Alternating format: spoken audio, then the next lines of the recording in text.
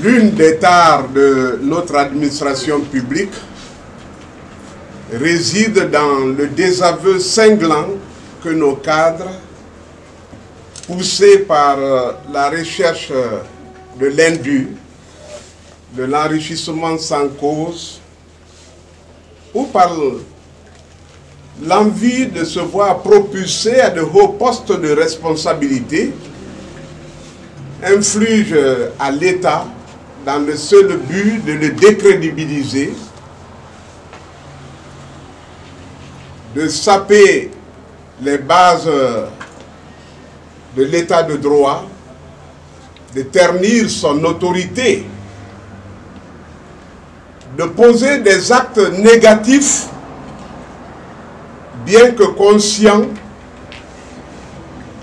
que leur réalisation causerait des dommages irréparables.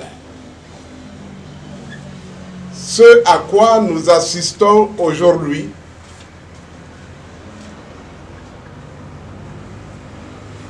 est un acte de rébellion de la part de l'État lui-même. C'est aussi une atteinte au droit de propriété et une violation grave des différentes chartes auxquelles notre pays a adhéré et a souscrit. Revenant à notre dossier de Kiperaï, Kipé, Kipé 2, pardon, il n'est plus à démontrer que nous sommes nous avons engagé des hostilités judiciaires avec l'État qui a été assigné en reconnaissance de propriété, en cessation de troubles et en paiement de dommages-intérêts. L'affaire, depuis octobre, est pendante devant le tribunal de première instance de Dixine laquelle, après débat au fond, après observation du ministère public, a été mise en délibéré pour décision être rendue le 1er mars. Nous avons donc été surpris. Nous avons été mortifiés, indignés de voir des agents de l'État cocher les bâtiments occupés par les, euh, habitants de Kipé 2, des bâtiments litigieux, alors qu'une ordonnance d'arrêt de toute œuvre de démolition a été rendue par euh, Madame la présidente du tribunal de première instance de Dixine, ordonnant l'arrêt immédiat de toute démolition, de tout ouvrage sur les lieux, jusqu'à ce qu'il en soit décidé autrement. Foulant au pied cette euh, ordonnance, bravant l'autorité judiciaire, le ministère de la Ville et de l'aménagement du territoire est passé outre pour procéder au marquage des bâtiments devant suivre après la démolition de ceux en cours dans un autre secteur différent de Kipé 2. Il s'agit d'un acte de rébellion qui, sous d'autres cieux, devait mettre en examen ou faire arrêter même l'autorité départementale.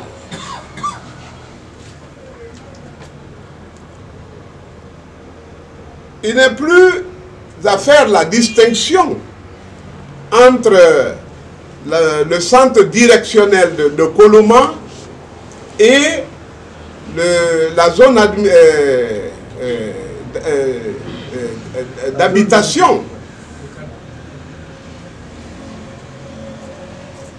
Le centre directionnel de Coloma, c'est ce qui actuellement est en train d'être démoli.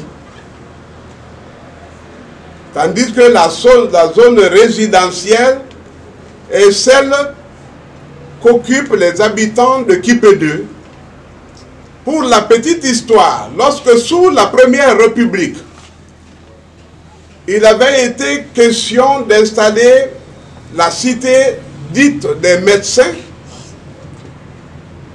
les autorités d'alors avaient décidé de déplacer ceux qui y habitaient pour les recaser dans une zone qui a correspondu à celle de Kipé 2. C'est ainsi que ces habitants se sont retrouvés en ces lieux qu'ils habitent actuellement de manière paisible, continue, sans équivoque, jusqu'en octobre 2019, sans oublier que l'État lui-même leur a doté de tous les moyens nécessaires, de tous les titres de propriété, nous en viendrons, pour euh, y résider, pour faire prévaloir leurs droits. Kipede peut être considéré comme une zone de recasement, de replacement, un site d'atterrissage de toutes les personnes déplacées pour cause d'utilité publique. Après avoir créé euh, la cité des médecins, il s'est posé le problème de, euh, de la clôture de l'aéroport international. Là aussi, tous les riverains du côté de la corniche ont été déplacés et recasés à Kipé 2. En troisième position venaient ceux de, de Anta. Donc, l'État ne peut nier ni disconvenir que ces lieux ont été prévus, aménagés pour le recasement des personnes que c'était une zone d'habitation. Il s'agit bel et bien d'une zone d'habitation. L'État a humanisé les lieux. L'État les a électrifiés. Il a procédé à l'adduction d'eau et à tous les actes de lotissement, a donné les titres de propriété, des arrêtés qui, dans certaines dates même de 1983, c'est-à-dire que les gens habitent là-bas euh, depuis plus de 30 ans, certains. Que la méconnaissance de l'administration ou du plan directeur de la ville de Conakry, ou tout au moins des actes de provocation tout court, amènent des gens à faire invasion sur des propriétés d'autrui équivaut à, à une atteinte grave à celle-ci, à ses propriétés. Ce à quoi nous assistons aujourd'hui, impuissants, comme nous l'avons dit, n'est ni plus ni autre que des actes de euh, rébellion. Et ceci-là devrait émaner de l'administration elle-même. Qui peut ne saurait en l'état être dérangé parce que les 252 familles qui y habitent attendent un délibéré. La justice elle-même s'emploie à ce jour dans la rédaction de ce jugement qui a fait couler beaucoup d'encre et de salive et qui fait l'attente de toute une communauté. C'est à travers ce jugement que l'on jugera de l'état de santé du droit dans notre pays, de la justice. En tout cas, dans cette affaire, le ministère public, c'est-à-dire le procureur de la République, a donné le ton. Il a fait une saine appréciation des faits et il a prouvé qu'il était vraiment, qu'il est d'ailleurs le gardien et le dépositaire de nos lois et qu'il euh, les gardait jalousement. Dans ses observations, il a attesté, tout comme euh, nous l'avions nous-mêmes fait, que l'État n'a rapporté aucune preuve de sa propriété sur les lieux. Il n'a le, décret mis à la disposition de la justice ou produit comme preuve, euh, pièce euh, à conviction, ne concernait pas du tout la euh, qui 2 et que cette pièce devait être purement et simplement écartée des débats parce que euh, ne concernant pas le procès.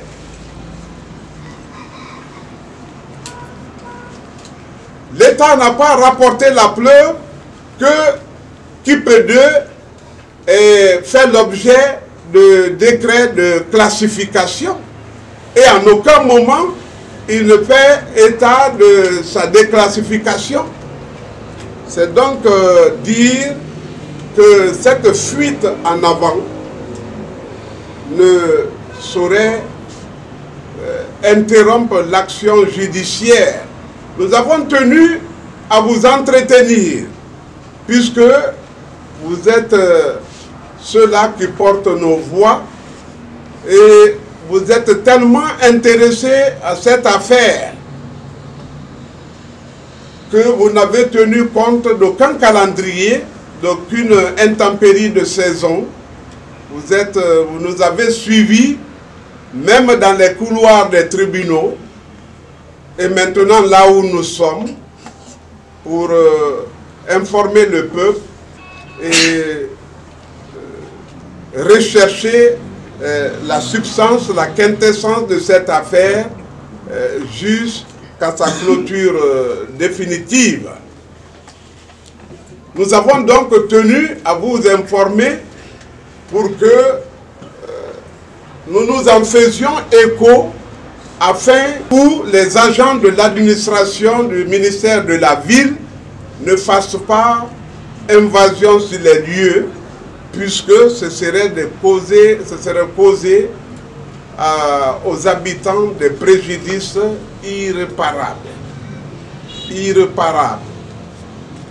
Ce processus de marquage de leur maison a eu lieu le vendredi dernier, profitant du départ de la quasi-totalité des habitants pour la, euh, la mosquée. Ils sont allés, ils sont venus. Et c'est pourquoi nous nous sommes demandé, est-ce par erreur, est-ce par mégarde, ou tout simplement pour mettre en application euh, les visées primitives. Ils sont venus donc cocher les lieux dans la plus grande clandestinité. Et certains même sont allés plus loin quand les chiens gardiens aboyaient il leur disait, vous aussi, vous pouvez sortir pour que nous vous marquions. C'est vous dire jusqu'où l'acharnement est poussé.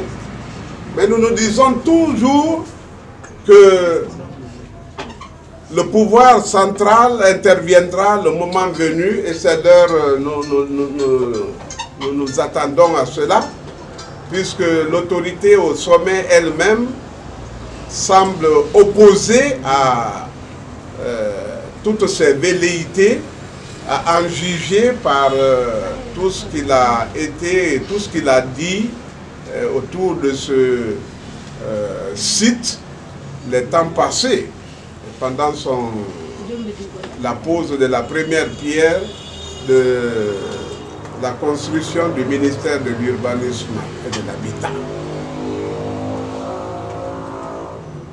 Nous avons vu des populations calmes, silencieuses, voyant tous euh, l'essentiel de ce qui leur restait détruit. Et nous nous sommes dit, que le silence d'un peuple n'est pas le signe de la paix. On ne peut l'imposer par la force des, des, armes, par des matraques. Et ce n'est pas en agissant ainsi que l'État pourrait mieux exprimer son autorité, pourrait mieux exprimer ses privilèges d'action d'office et de décision exécutoire que, qui lui sont conférés. Ce ne sont pas les richesses qui rendent une nation prospère, mais la justice. Et cette justice, nous la réclamons et nous nous, nous comptons également sur vous pour qu'elle soit entendue, imposée et dite. Les habitants de Kiperaï sont des de, de, 2 sont des occupants légaux reconnus par l'État, détenteurs de titres de l'État, certains même ont des titres fonciers, d'autres des arrêtés, et aucun de ces titres n'a à aucun moment été rapporté. Ils sont renvoyés dans l'exercice de leur euh, propriété, dans la jouissance paisible de leur propriété, en sorte qu'ils sont en droit de se retourner contre tout contrevenant jusqu'à ce que preuve contraire leur soit rapportée. Nous avons donc tenu à vous attirer votre attention autour de cette euh, situation pour que dans vos rédactions respectives, dans vos radios, les stations de radio, de télévision, que cette voix soit portée et que euh, nous nous tournions tous vers la justice parce que nous sommes tous soumis à la justice, à la loi. Cette loi est exécutoire sur toutes les limites de la souveraineté dont elle émane. Elle s'impose à tous. Et c'est pourquoi tous nos regards sont aujourd'hui tournés vers le tribunal de première instance de Dixit, puisque nous ne pouvons pas demander d'abréger le, le délai de délibérer, nous, nous attendons, mais avec beaucoup de, hantise, beaucoup de crainte, d'amertume, parce que depuis le, le vendredi, nos clients ne dorment plus. Ils sont pour la plupart à la retraite, n'ont plus de source de revenus leur euh, priver de ces habitations serait leur conduire directement dans la tombe ou dans la mendicité. Ceux-là qui sont déguerpis, nous ne savons à ce jour où ils sont en train de transporter, sinon que surcharger euh, les frères et sœurs, les parents. vivre dans l'inconfort à ce jour ce que nous, allons, nous voulons faire éviter à ceux de KIP 2 qui, eux, sont victimes d'actes de provocation. Il y a une menace sérieuse à leur droit de propriété, à leur jouissance. C'est à quoi nous voulons mettre un terme. Mais ça ne sera mis que par la décision de justice qui va être rendue nous aurions pu à ce jour attraire l'État ou l'administration devant le tribunal. Mais à quoi cela pourrait-il servir quand le coiffeur lui-même devrait se coiffer? Si c'est encore lui l'auteur de, ces situations. Euh, je voudrais passer la parole à mon confrère, Sylvana, pour euh, dire un mot. Vous écoutez par rapport à cette procédure qui est pendante devant le tribunal de première instance de Tixi. En effet, dans cette affaire qui oppose les occupants de l'équipe 2 au ministère de la Ville, représenté par l'agent judiciaire de l'État, une demande mise en demeure avait été notifiée aux occupants de l'équipe 2 à la date du, du 11 septembre 2008. Dans cette lettre de mise en demeure, le ministère de la Ville, représenté par l'AJE, a indiqué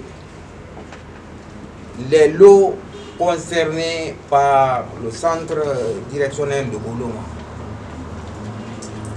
à savoir les parcelles des lots 14, 15, 16, 19 et 37 du centre directionnel de Koloma. Ces lots se trouvent derrière la RTG Koloma. Ces lots sont différents des lots numéro 4 du lot 34, numéro 13 bis du lot 36, numéro 3, 4, 5 et 6 du lot 41. Ainsi de suite, occupés par les demandeurs d'équipe 2. Au tribunal, après échange de pièces et de conclusions, nous avons demandé à, l'agent judiciaire de l'État de nous communiquer la liste et le plan parcellaire par lequel ils ont morcelé le prétendu domaine qui revient à l'État. Malheureusement, jusqu'à la clôture des débats, l'État n'a pas produit cette pièce pour justifier que nous avons procédé au plan parcellaire. Voici les lots qui sont indiqués par rapport à leur positionnement sur le terrain et aux occupations. Rien n'a été fait. L'État n'a produit aucune pièce par rapport à cette euh, demande. Ensuite, nous avons demandé aussi à l'agent judiciaire de l'État de nous communiquer la liste. La liste des différents lots. Impossible. Ça aussi, l'État n'a produit aucune pièce. Aucune. Donc, euh, à ce jour, l'État, représenté par l'agent judiciaire de l'État, intervient seulement sur le terrain pour causer du tort aux occupants.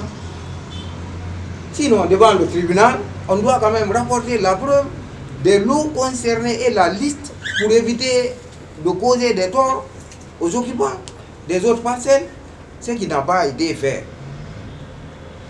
Ensuite, euh, l'État exhibe comme preuve euh, le décret 211 du 23 novembre 1989. Dans le dit décret, on ne parle pas d'équipe 2. La zone d'équipe 2 n'est pas citée comme réserve foncière de l'État. Le décret est clair. On dit ça en directionnel de Coloma. Il ne dit pas euh, 2. Par quel moyen l'État va exiger que ce décret soit appliqué aux occupants de l'équipe 2 si ce n'est pas la force, comme c'est le cas actuellement? C'est pourquoi on vous a fait appel pour dénoncer cette situation regrettable qui cause de sérieux préjudices euh, aux citoyens occupants. Ensuite, si vous continuez la lecture du même décret, il est dit que tous ceux qui ont mis leur fonds en valeur,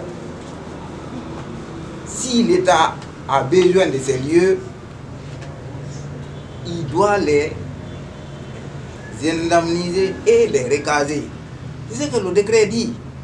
Si l'État a besoin d'une parcelle appartenant à un occupant, il- le ministère utilise la procédure qu'il faut dans ce sens. Recaser et indemniser les gens. Parmi ces occupants-là, non concernés d'ailleurs, qui, a été appelé pour négocier par rapport à, un recasement ou à une indemnisation? Il y a pas. Ils disent que non, ils ont été indemnisés. Ils ont été indemnisés, mais ils refusent de quitter. Qui a indemnisé qui? Où est la liste d'indemnisation? Où est la liste de recasement? Ça n'existe pas. Ils ne font que tenir des discours. Des discours eux, pour tenter de s'accaparer des, des biens des, des citoyens, d'équiper d'eux. Ensuite, l'intervention de monsieur le ministre de l'aménagement du territoire sur le terrain, c'est une intervention qui est illégale. Pendant que l'affaire est pendante devant le tribunal, il intervient dans une affaire judiciaire, alors qu'il est un ministre de l'État. Il fait partie de l'administration. Le pouvoir exécutif n'a rien à voir dans le pouvoir judiciaire. Il y a un arrêt des travaux qui a été rendu par madame la présidente du tribunal de Dixie. Cet arrêt doit produire ses effets jusqu'à ce que le tribunal tranche cette affaire. Toutes ces décisions ont été signifiées au ministère de la Ville, représenté par l'agent judiciaire de l'État. Donc, euh, par rapport à tout ça, nous disons que la zone de Kipé 2 n'est pas concernée, ne doit pas être concernée par ces marquages, par les prétendues démolitions programmées. Parce que cette zone se situe derrière l'ambassade et n'est pas derrière la RTG Coloma ou bien devant là-bas. C'est une zone qui est non concernée. C'est une zone d'habitation.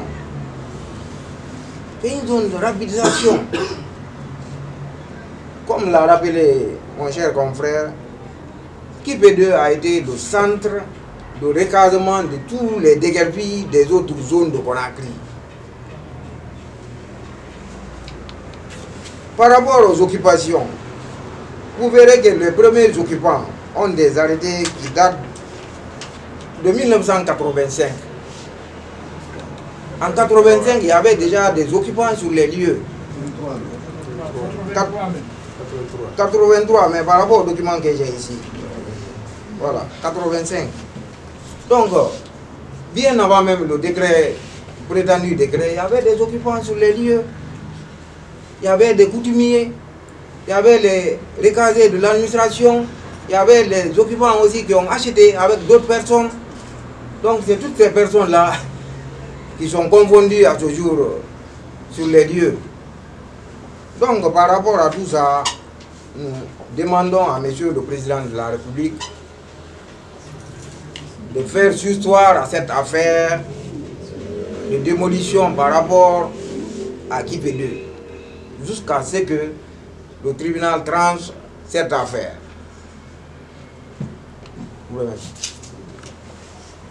Parler ton mais j'arrive dans un instant. Tu es au bureau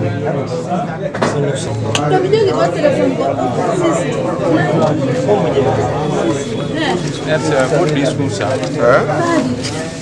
C'est ce que vous avez lu, non? Non, je n'ai pas lu, hein, c'est des pointillés seulement. Ah, ok. Des pointillés. Ah, ah, c'est vrai. Je ne dis pas.